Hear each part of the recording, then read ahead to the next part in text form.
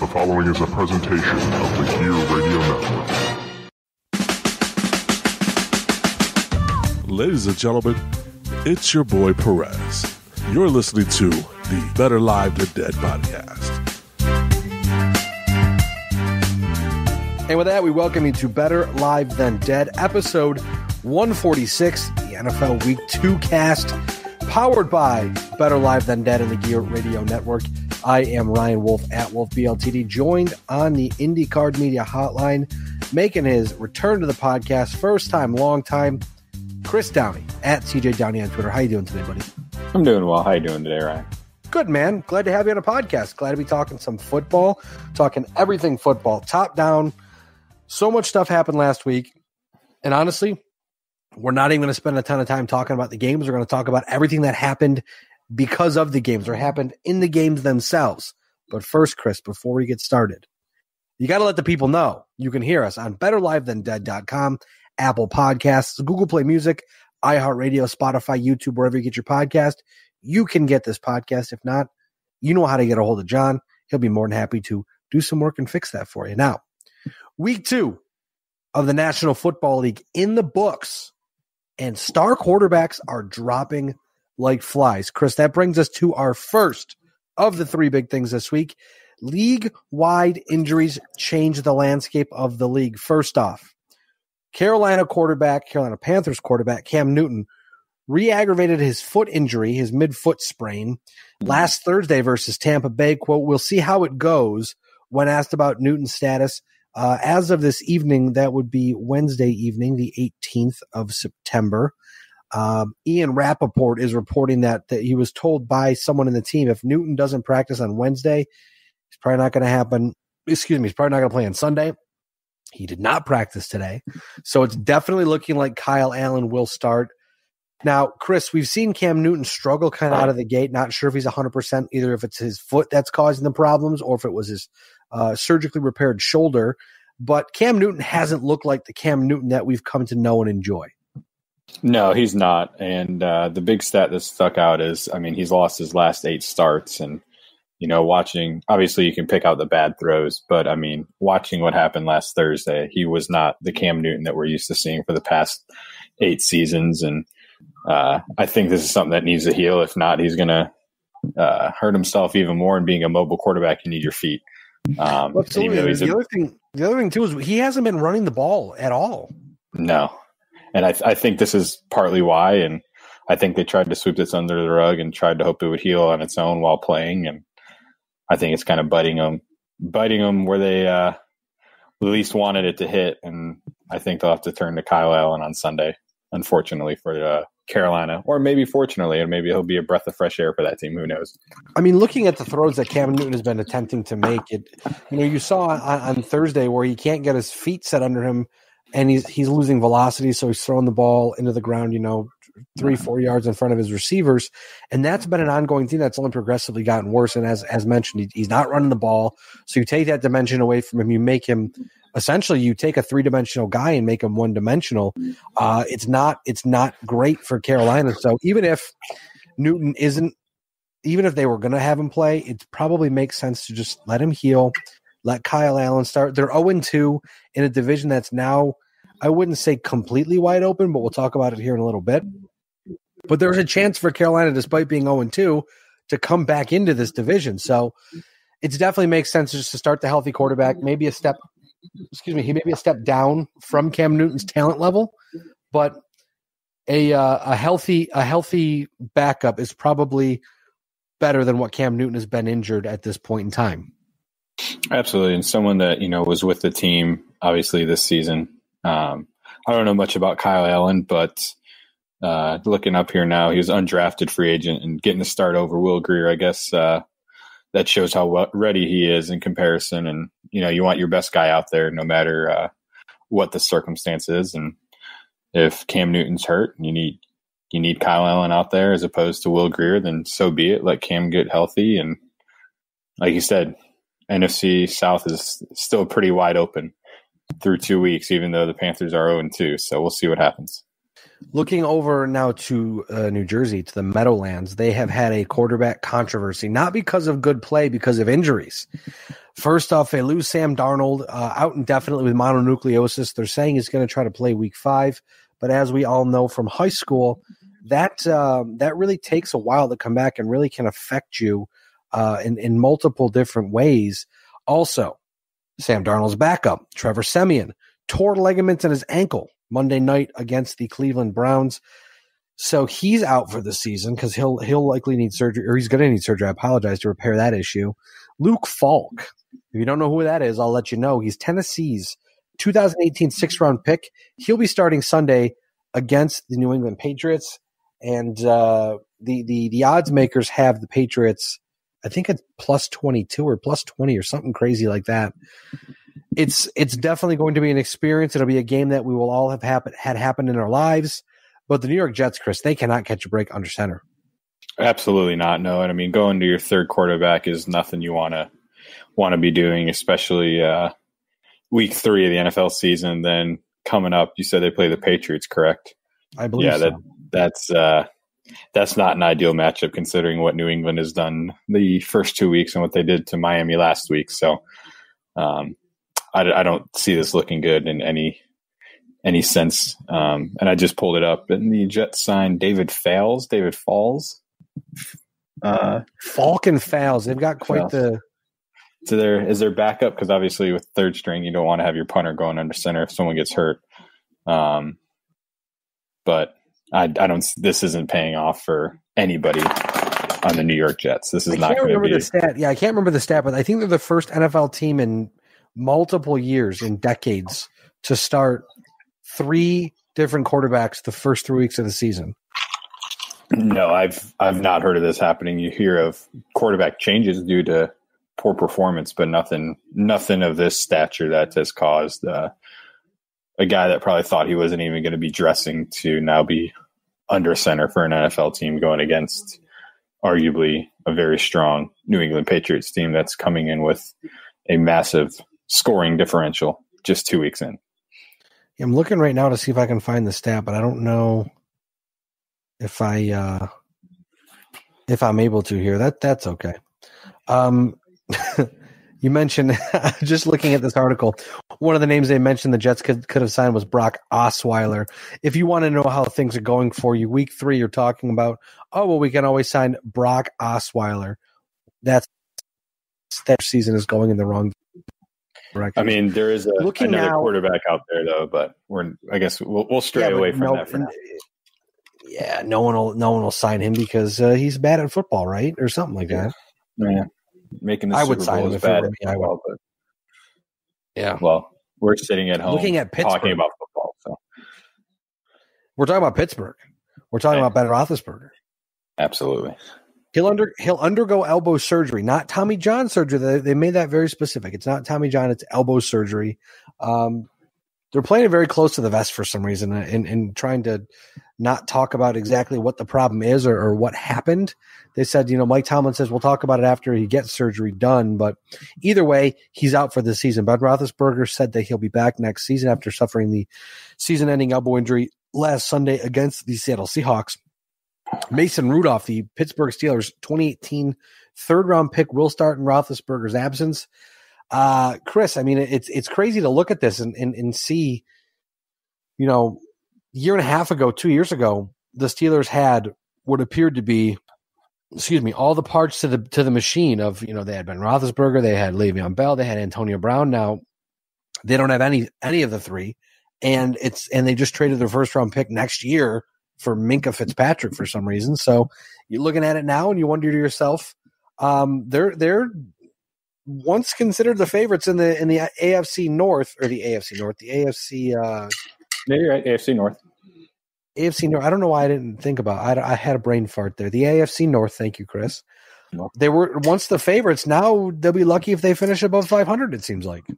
Uh, well, I mean, you did mention Le'Veon Bell and, and uh, Antonio Brown, but I think those two have been easily replaced with uh, Juju and James. Uh, I wouldn't say talent level, but efficiency level. Um, you know, you, you, have to feel for Pittsburgh. They trade away uh, Josh Dobbs when uh, another team came calling for uh, who the heck did they trade him to? I forgot. They traded Josh Dobbs, and the week later, you know, Ben gets hurt, and now it's Mason Rudolph, former uh, Okie State quarterback, and uh, I think Josh Dobbs. Josh Dobbs went to the um, the Jaguars. Was it, was it Jags? Okay. Um, I couldn't remember if it was the Jaguars or Dolphins. Um, I knew it was down in Florida though. But then they traded the first round to get Minkah Fitzpatrick, which seems very counterintuitive, counterproductive for what you're trying to do. Um, but maybe they inquired about the wrong Fitzpatrick. Who knows? um, but yeah, so they traded that away. So you definitely know they're not going after. Uh, they're not going to try and tank the season to get uh, Tua from Alabama. Because um, I mean, there's definitely a lot of star quarterbacks coming out from college this year that can make an impact pretty quickly. And I guess, uh, I mean, who knows? I mean, it was a non-contact injury, and we all know how those go with the knee. So I mean, the elbow is essentially the the upper knee in terms of how it's laid out. So I, I don't see us looking good for Big Ben. Even if he does come back, who knows what kind of production he'll be able to garner next year coming back from a injury to your throwing arm. So yeah, absolutely. At at his age, with with the the amount of wear and tear on his body, it won't shut the hell up over here. You're ruining my podcast, dog. Anyways, Ben Roethlisberger's got a lot of mileage on his body, a lot of wear and tear. Um, I know he's under contract. I mean, if he weren't under contract, maybe this would be the last we saw Ben Roethlisberger. But we know players don't like going out like this.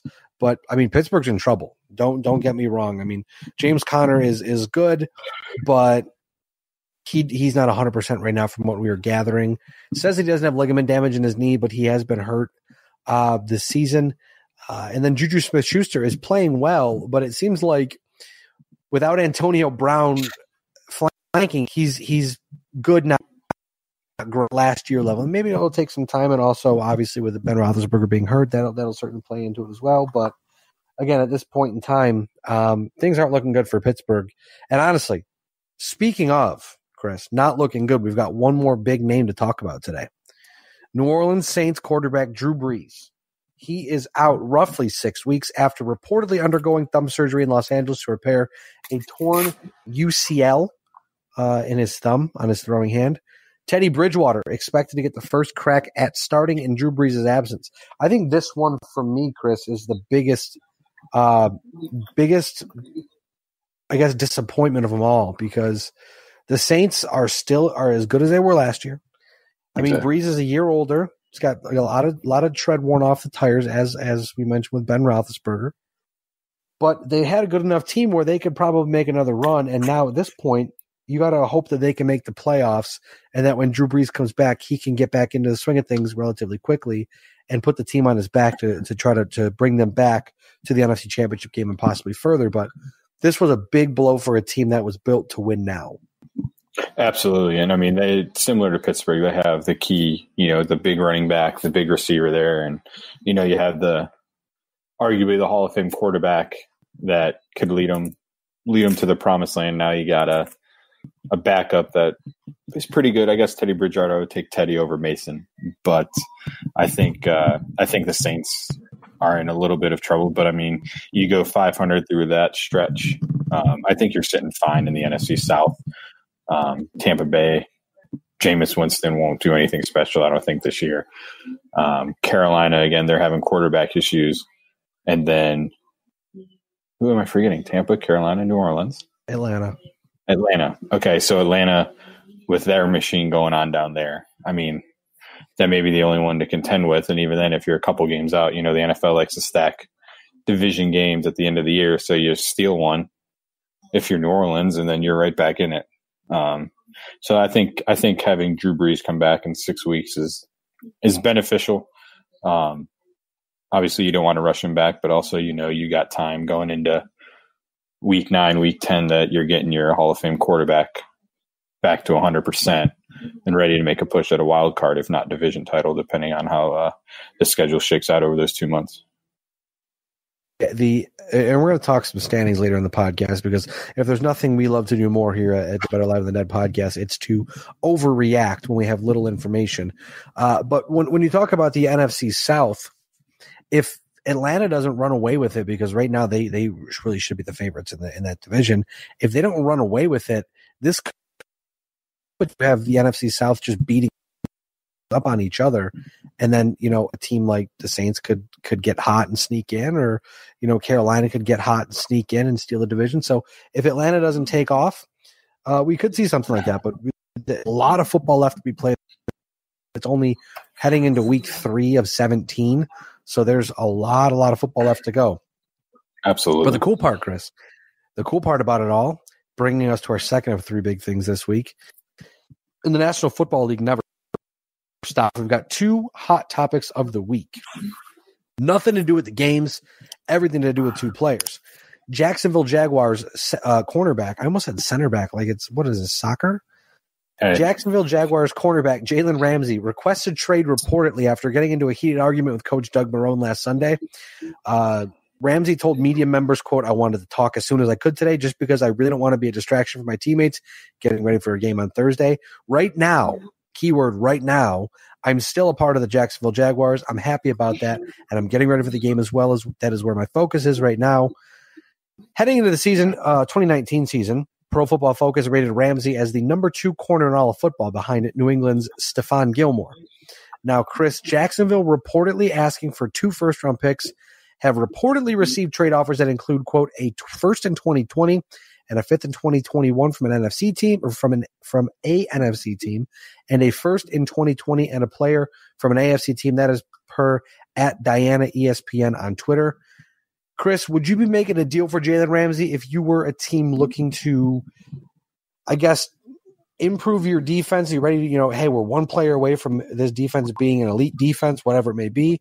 Would you be making the call to pick up Jalen Ramsey, or do you think not only is the the baggage on the field, but the contract that is coming off the field too much uh, to pay for for Jalen Ramsey? I think it depends on uh, the situation that you would put him in. Um, obviously, we know Doug Marrone from his days in Buffalo and what type what type of Doge Marrone. what kind of uh, ship he runs there, and obviously Jalen Ramsey has the antics, and you know you want that kind of personality and uh, that drive to be the best and stay at the best. So I think he'd be good for a team that, like you said, is one step away. But as we've seen in the past seven years or so, um, cornerbacks especially are very much a two season, maybe three season wonder, and then the next big cornerback comes along. Um, I mean, there's Darrelle Revis for a few seasons, and then uh, the guy that Carolina had that they dealt to Washington. I forgot his name, Josh Norman. Um, he was good for Carolina for a season or two, then good with Washington, and I'm sure he's just another name now. And then Jalen Ramsey comes up, and then in a couple years you're going to have the next guy. So I think he'll be good to add to a lot of teams' defense. It's just who's willing to pay that price. Um, and now that I always have this belief that now that you know a guy wants out, his price drops X amount. Um, a team's not going to get what they want for him because you know he's going to want out. So Yeah, once you the more that vocal, leverage, you're in trouble. exactly, and the more that that player becomes vocal, you don't want that distraction. So that price will drop for that athlete, and I think with the persona that Ramsey brings, not only on the field but off the field, I think that's only going to pick up and be even more prominent as the weeks go on. And I mean, I just read something on Twitter that he probably won't be dealt before tomorrow, the Thursday night game. But I mean, there's 10 days in between. Phone calls will be happening. I'm sure I wouldn't be shocked by week four or five if he's, uh, if he's not in Jacksonville colors by, by that time.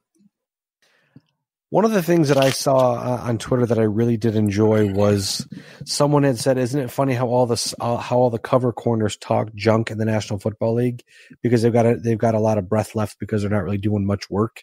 It was something on Twitter, but that was really good.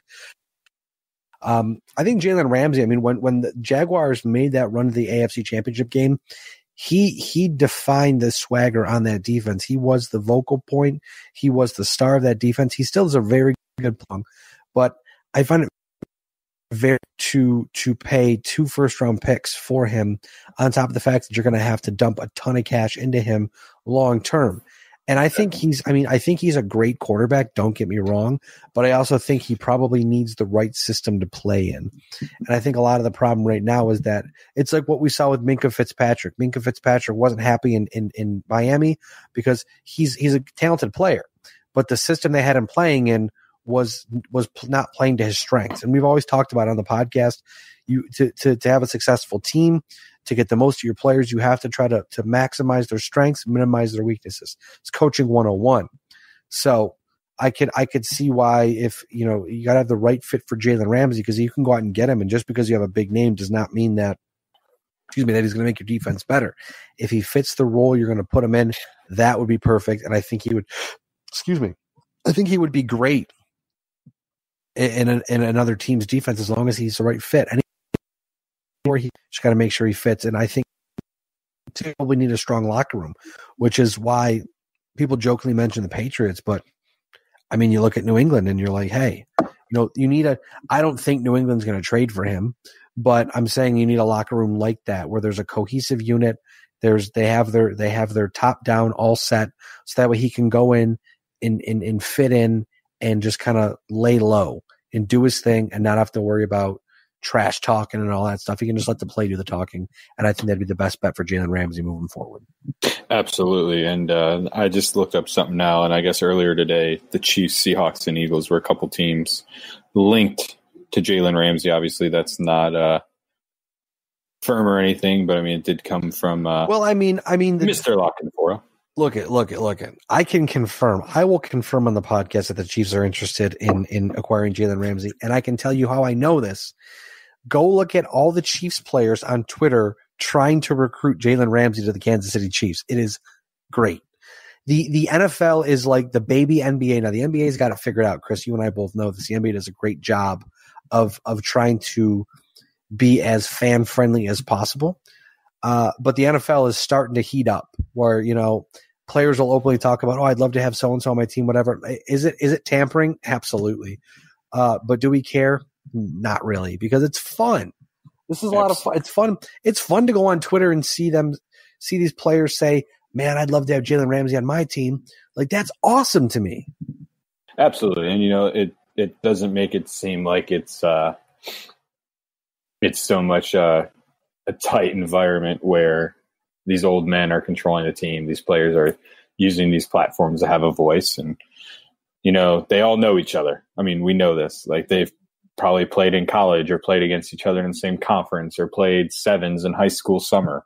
Um, these guys know each other, so you know that it's it's not just being done to to be done. Like they know each other, they know what they're doing, and um, I will say this: I hope Ramsey goes to the NFC. Um, don't have to worry about him in the wild card game this year for Buffalo, but that's a a biasness that I have. So send him to the NFC. We won't have to see him to the Super Bowl this year. Go Bills.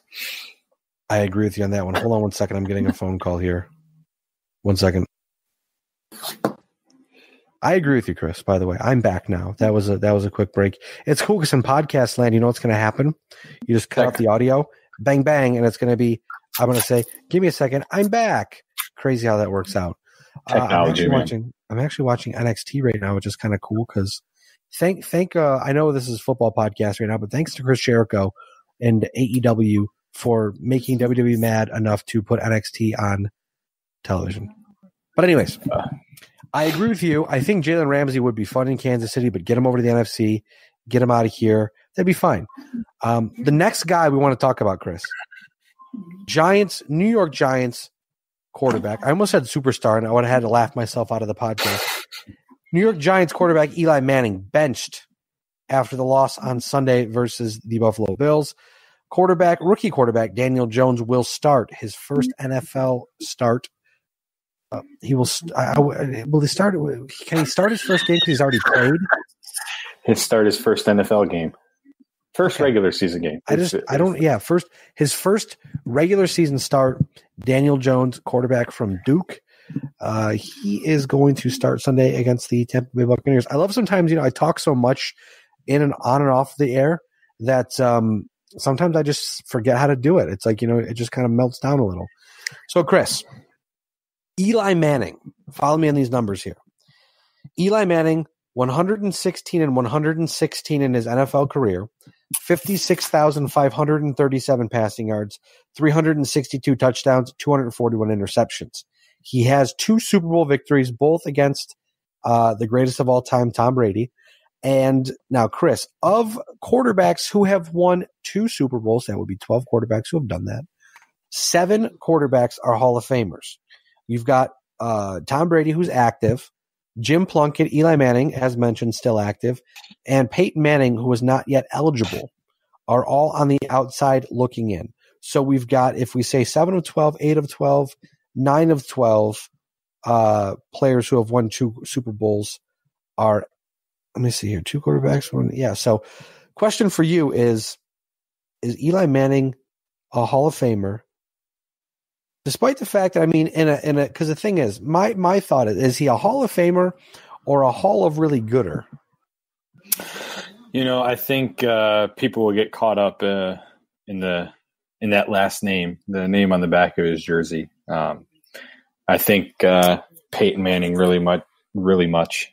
Wow, um, we're really a, a, great time here on, on, on the podcast with words. He uh, he he set that up well, and you know I think people like I say, you know, he's a Manning, um, but I, I I don't see him being a Hall of Fame quarterback. Um, maybe down the line when they need the older guy to go in, he'll get the he'll get the nod but I definitely don't think he's a first ballot Hall of Famer, not a second ballot. Um, you know, he'll be on there for a while.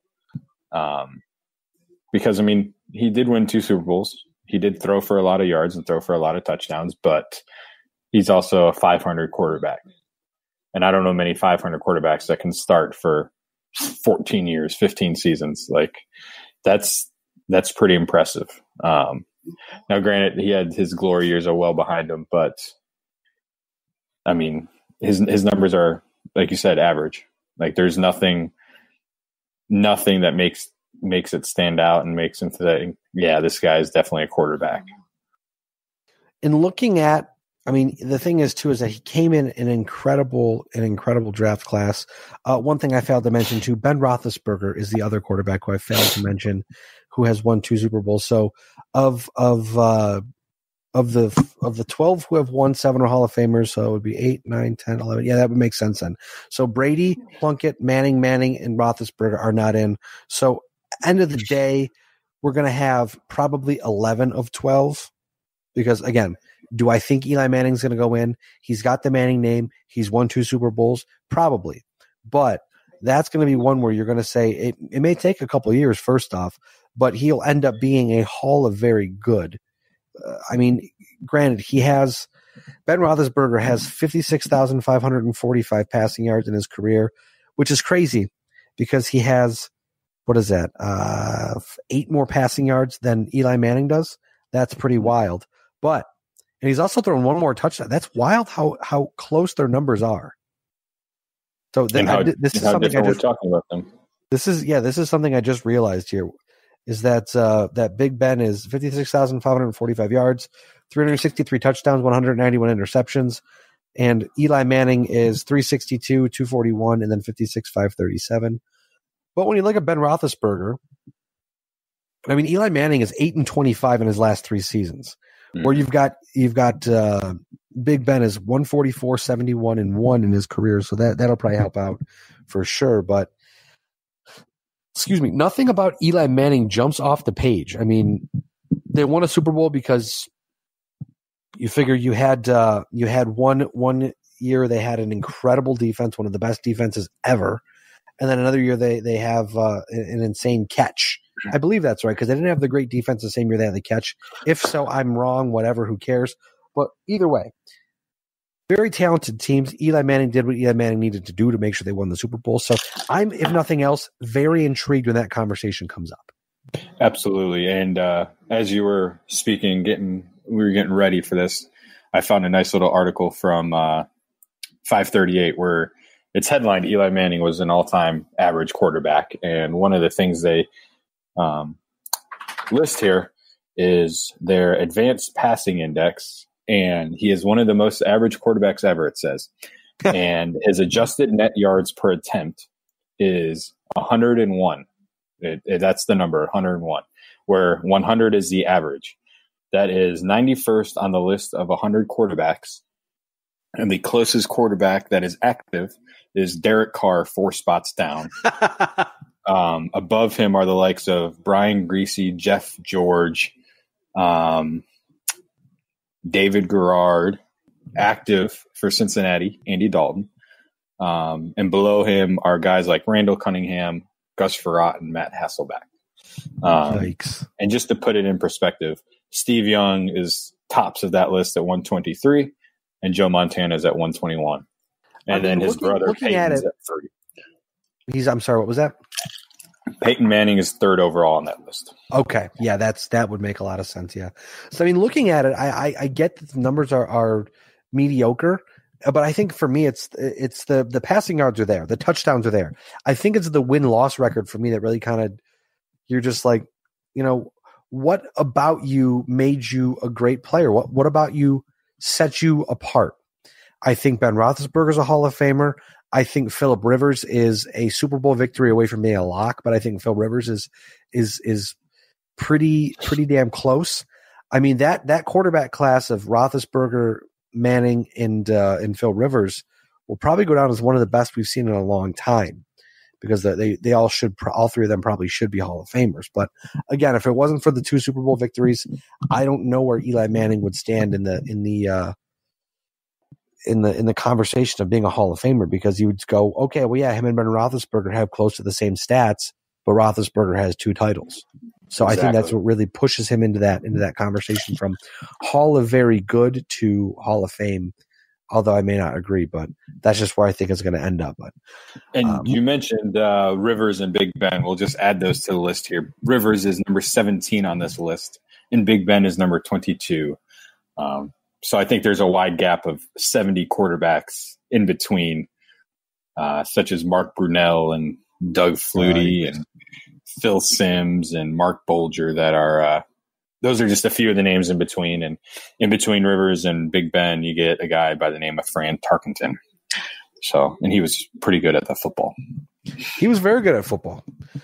Now, Chris, last thing last of the three big things this week i'm struggling tonight with with just with words. I don't know what it is. It's got to be because it's midweek.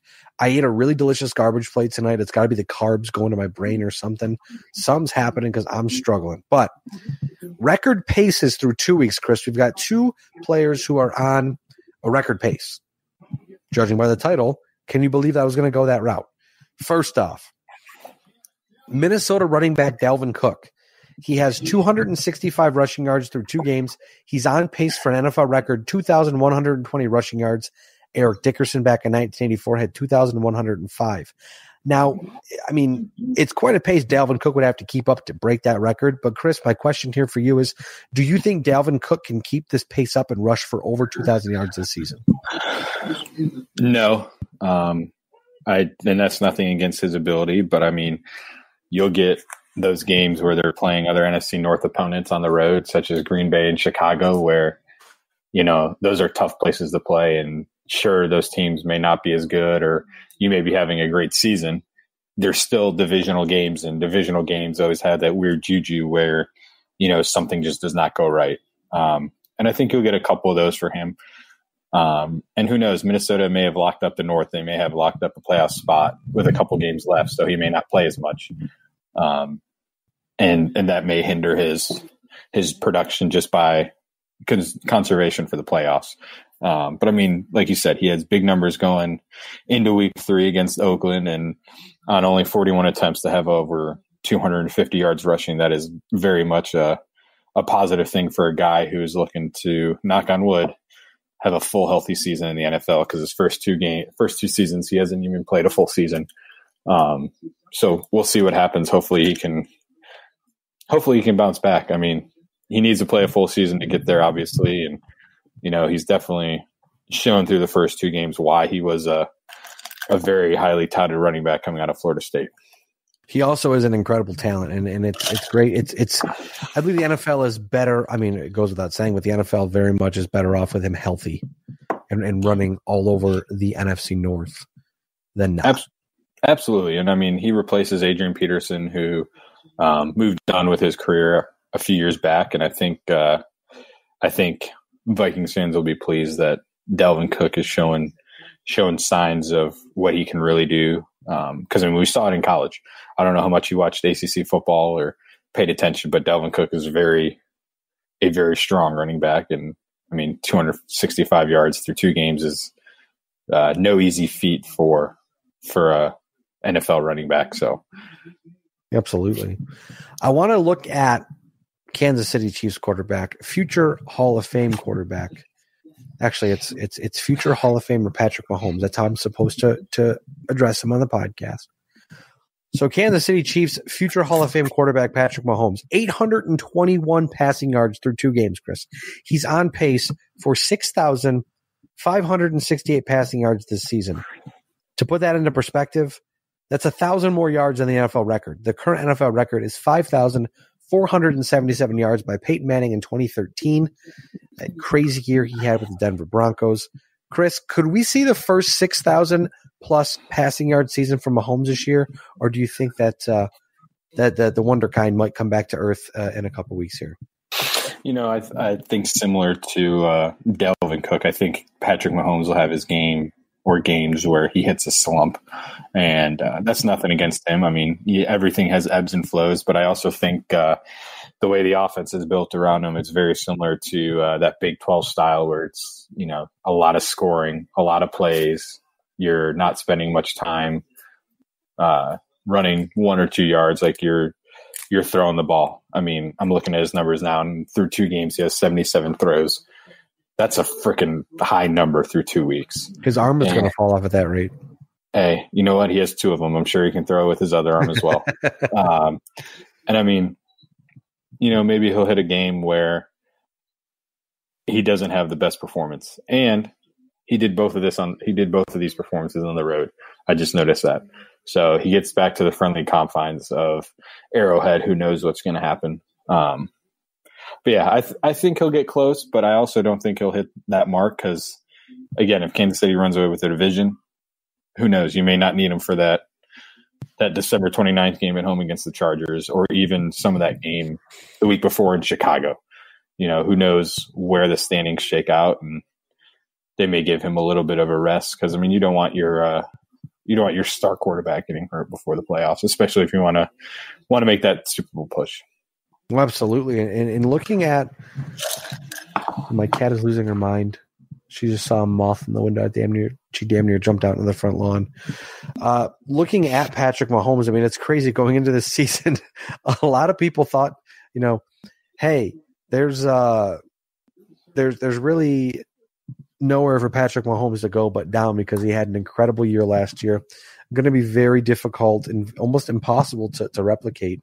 And this year, through two weeks, he's actually been better and he's on pace for uh, better stats than he was last year. So we'll have to see. We'll keep an eye on Patrick Mahomes because he is by far one of the most exciting players in football. Um, so so we'll definitely keep an eye on these paces and we'll we'll update y'all as as we see fit. Now looking ahead, Chris, as mentioned, we love to be obtuse on the podcast, as you know, because we're both acute to- already. So never mind. we like to we like to look ahead and hey, two weeks, two weeks into the play into the in the NFL season. We're talking playoffs. Playoffs. Never too exactly. Never too early to look into the playoff picture. Now, looking at this right now, uh, just going through the divisions, New England and Buffalo both tied at two and zero oh in the AFC East. Excuse me, the AFC North. Baltimore leads at two and zero. Oh. Uh, you've got the AFC South. You've got a three-way tie: Indianapolis, Houston, and Tennessee tied one, uh, one and one. Kansas City leads the AFC West, uh, two and zero record. NFC East, you got Dallas at a very convincing two and zero. Green Bay also very convincing two and zero in the NFC North. The NFC South wide open. Tampa, Atlanta, New Orleans tied one in one, and the NFC West, you've got a slobber knocker out there. You've got uh, the Rams, San Francisco, and Seattle all at two and zero. Right now, the wild cards in the AFC, you've got Buffalo and Houston, and the wild cards in the NFC, you've got the Rams and Philadelphia. Now, Chris, teams that are in trouble. We've talked about a couple of these teams here essentially these are teams that were expected to be okay and they are now struggling. You've got the Jets, the Steelers, the Jaguars, the Broncos, the Saints, and the Panthers all uh, kind of looking to be a little bit in trouble through two weeks. I mean, whether it's injury, whether it's ineffectiveness, or both. Um, I think my cat got into some catnip because she's acting like a, a, a wacko over here. But those teams in trouble and and looking like they're going to need a lot of help to to get back to the playoffs if they want to get to the playoffs. Um, they're they're definitely going to need something to break their way. So, Chris, what are your, what are your thoughts on the standings so far through two weeks? You know, I think it's uh, you know we love looking at ahead. Uh, let, us take a look here. I think New England, obviously, I don't, I don't see anything slowing that train down. Unfortunately, um, they're they're they reload every year. They find new weapons. Um, they got Antonio Brown. Like, how how is that fair? Who knows? But I mean, you're giving 21 year old Tom Brady another weapon to throw in his 45th season in the league. Um, Baltimore. Uh, I mean, Lamar Jackson's a beast. You know, that's going to definitely be a fun race to watch with uh, Cleveland as well. Um, I think Cleveland got off to a slow start, but I think they they had a, a good showing Monday night, and uh, yeah, it was the Jets, but I mean, you still got to beat the teams you need to beat, and uh, they did that pretty well. And I think AFC North will be pretty good. Indianapolis, Houston, Tennessee, that'll be a toss up. Um, I don't know how well India hold on with Jacoby Brissett though. Um, that's definitely going to be a question mark for them. Tennessee and Houston both have their their mobile quarterbacks, and then I think we can all assume Kansas City is going to run away with the West. Dallas with the East and uh, Green Bay. Um, I think they I think they'll handle the North, barring uh, what happens out there. That's always a fun division to watch, no matter how good or bad they are. Um, but of all the teams that you mentioned that are in trouble, how many of them have quarterback injuries? Absolutely. Um, the Jets, like, like, they always say, like they always say, show me a good, exactly. a good quarterback, I'll show you a good coach, or vice versa. Exactly, and you know Joe Flacco maybe still trying to find his bearings in Denver. Um, Joe Flacco is not a good quarterback. I think yeah. that Denver has confirmed that one. hey, you know what? He's been to the Super Bowl. He's he won, won, a Super Bowl. Bowl. He was elite. For one point in time of his life, he was elite. He is an elite quarterback. Um, and then Jacksonville's always a, a, dumpster fire. And then four of those six well, think, teams are missing quarterbacks. So I think Jacksonville would have been in it if they if uh, Nick Foles wasn't spiked into the ground. Um, That's true. Same with the Jets. I think the Jets would have been better if Darnold was okay. I mean, yeah, like you said, quarter. Let's see, the Jets quarterback, Pittsburgh quarterback, Jacksonville quarterback, Denver Joe Flacco quarterback, the Saints quarterback, Panthers quarterback. So again, any team too that thought they might not have a shot can definitely kind of push all their chips to the center of the table. I mean, like you said, Baltimore's been great with Lamar Jackson. He'll come back to earth at some point in time. Cleveland's offense has looked sluggish. Uh, they're definitely not clicking at this point in time. Uh, Freddie Kitchens said he's got to change some things up there. Um, New England, like you said, they're they're not going to you know try to stop them. They're not going to be stopped. Indianapolis, Houston, Tennessee. It's really excuse me, the first one who who takes the ball there, uh, hypothetically speaking, and runs with it. They'll be they'll be fine. In Kansas City, I don't see anybody in the West taking them down. Dallas and Green Bay have looked great. Um, I think until uh, Mitchell Trubisky starts to look halfway decent in Chicago. Will they be a factor? Even though they have a very good defense, they may end up being a, a wild card team if Trubisky can't put it together. Um, Tampa, Atlanta, New Orleans again, first team to grab that and run with it. They'll be fine. And really, in the West, it's the first team who blinks. I think it's going to be. Um, they'll they'll have a team in the West, obviously winning the West, and they'll have a, a team that takes a wild card. There's no way that two teams do not come out of that uh, come out of that division. So, no, absolutely not. We'll, and we'll, we'll uh, see what happens I, there. I uh, all I got to say is I just hope New England doesn't make the Super Bowl. I know we're talking about standings, but we don't want New England to make the Super Bowl. I mean, they probably will at this point. They have a aside from Pat Mahomes and the Kansas City Chiefs, they have a very easy path to the Super Bowl. I would have to think they do, and I uh, we all know what that means in uh, Buffalo Bills world for the Bills Mafia that they can no longer claim they're the only team to make four straight. Yeah, that'd be so. wild, wouldn't it? Looking at week three, some top matchups before we wrap up the podcast. Chris, you've got Baltimore versus Kansas City, Houston versus the Chargers, the uh, the Saints versus the Seahawks, and you have the Rams versus the Browns. So uh, there are a few good matchups this week. Um, potential potential swing games that uh, will be very important down the road when we start to get those playoff matchups together. And it's definitely looking like um, we, we could have some good football this week. Absolutely. I mean, there's always, I think, there's enough parity in the league with the the few exceptions that you're always going to have at least one good matchup. Um, we're never going to have the college football uh, style where it's the top 25 beatdown of you know state college out of you know podunk usa you know exactly um and, and i do like you that you put cleveland on there how many how when was the last time cleveland has been on a, a top matchup for anybody's radar sure they're hosting the la rams but i mean they're at home under the lights again and you know they have the weapons and i think i think once that train gets rolling that's going to be a, a beast to stop as well for if uh, that if that train doesn't get rolling, I think there's it, it might be a season where they look back and say, "Man, what if?" You know, they they definitely have the chance with with. I mean, Baltimore's playing out of their mind. We don't really know. I, I always want to see a team like a, a good. Show me a good team. Great, that's awesome. Like Baltimore's been great, but let me see them up against some adversity. Not facing Miami, not facing the Arizona Cardinals. Uh, they're they're going to be taking on Kansas City this week. That's definitely going to be a very good opportunity to see what that team is made of. But how how do they react to adversity? That's that's when you get a good idea of of what a, what a team actually is. Um, we've seen Cleveland have some adversity already.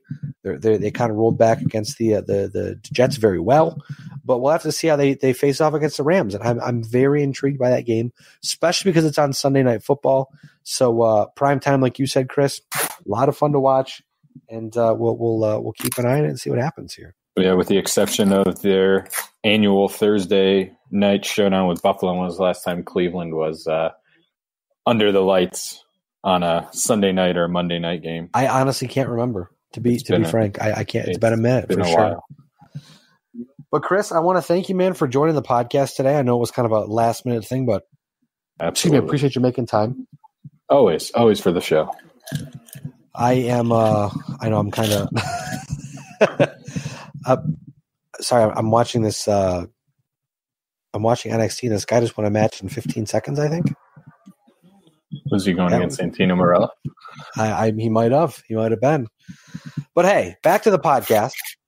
I am Ryan Wolfe at Wolf BLTD. Chris is at CJ Downey on Twitter. He of NC State. Uh, follow Chris. He's got some good stuff on not only on Twitter but on Instagram as well. And as always, Chris, you know this just as well as everybody does. We are better live than dead. You are not. We will catch you sometime very soon. Thanks again for tuning in. The preceding presentation has been brought to you by the GERE Network. Hi, ladies and gentlemen. Do you like sports, interactive polls, friendly banter from two guys that probably shouldn't even be on the microphone doing this stuff, anyways? Well, if you do, then you're in luck. Us two knuckleheads, Brandon and myself, comprise the Listen In podcast. That's right, Listen In, the podcast. We're talking sports, we're talking news, we're talking topical things, we're talking all sorts of things, my babies, and you are all invited to listen in right here on the GERE Radio Network.